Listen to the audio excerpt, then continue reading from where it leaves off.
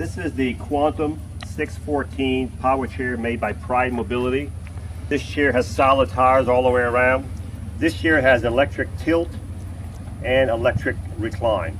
To make the tilt go back, you have to go to the joystick, put it in the position where you can see the chair on the, on the screen with the tilt on. Then you push the joystick back and then you would have your electric tilt going on.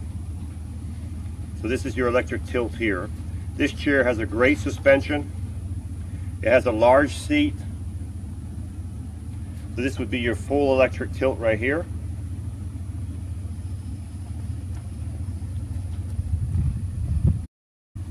This chair also has electric tilt. Same way with the tilt, go to the on the uh, screen where you see the chair with the tilting position on, move the joystick back, and you will have the back of your seat recline. And it's very quiet, you can't hardly hear it. And the seat will go all the way down.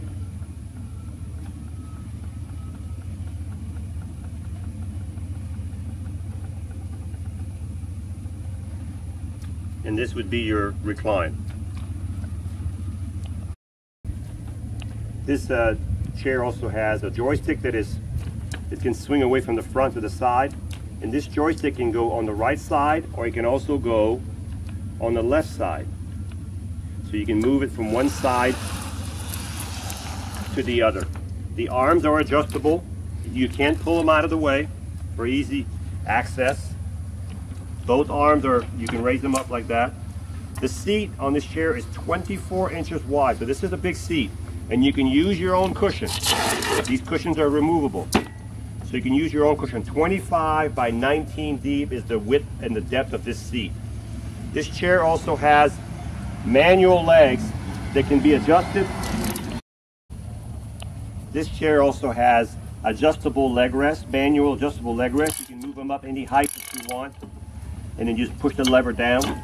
You can also flip him out of the way to get out and you can also take him off. So you can do that. This chair can also come with a foot plate up front, so if you need a foot plate, just let us know. We can take the legs out and just have a foot plate instead. This chair also has tie down bars on each side. There's two on each side to help tie the chair down to your lift or into your vehicle. This chair is, uh, is in fantastic shape. It was used for probably about six months, but it's in great condition and it has a great smooth ride. And if you need to charge this chair, all you have to do to charge the chair is um, plug the joystick, uh, plug the uh, charger into here, and once the charger turns green, you're fully charged and you're ready to go.